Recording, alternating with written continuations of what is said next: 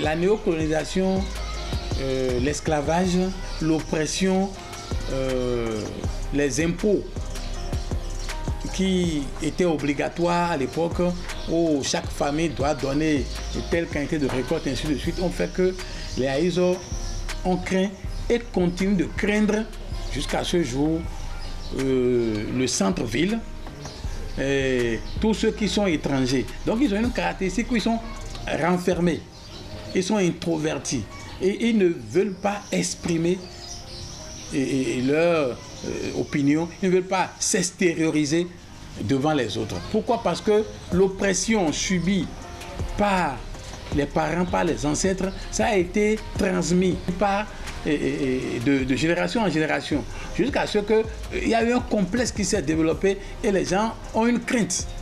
Quand ils sont entre eux, quand nous sommes entre nous, dans le village là-bas, il n'y a pas de problème, les gens s'épanouissent correctement. Mais dès qu'ils quittent là et qu'ils se retrouvent avec les descendants des oppresseurs, il y a ce clivage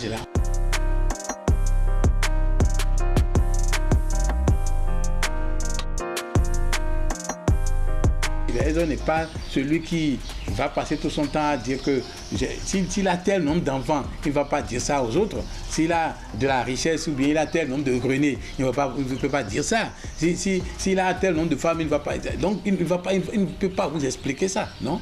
Euh, C'est une façon d'étaler ce qu'il est. C'est une façon d'étaler. Non, c'est la nature et c'est Dieu qui donne les enfants. C'est Dieu qui donne la richesse et c'est Dieu qui sait le nombre d'enfants qu'il a. C'est Dieu qui sait le nombre de femmes qu'il a. Mais ce n'est pas à lui de se vanter de qu'il a ceci. Le, le ne se vante pas. Il, ne se vante jamais. Non.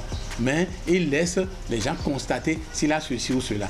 Donc il y a, ça, mais c'est lié à l'oppression dont j'ai parlé. C'est lié et, à cette forme d'esclavage. Parce qu'il y a eu trois formes de colonisation que le Haïzo a subi. Donc ce n'est pas seulement la colonisation étrangère des Blancs, mais il y a eu la colonisation du, royaume d'Abomey qui, qui a pris par là.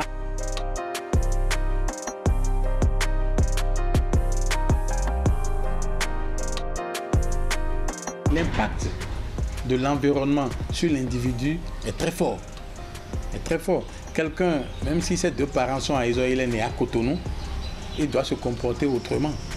Le milieu agit mais celui qui est à Isor, il est né là-bas. Il a grandi là-bas. Il n'a jamais quitté. Quand il va quitter, ce complexe-là, va traîner un peu pendant quelques années, puis après, ça va partir. Mais il est, il est dit que ça reste.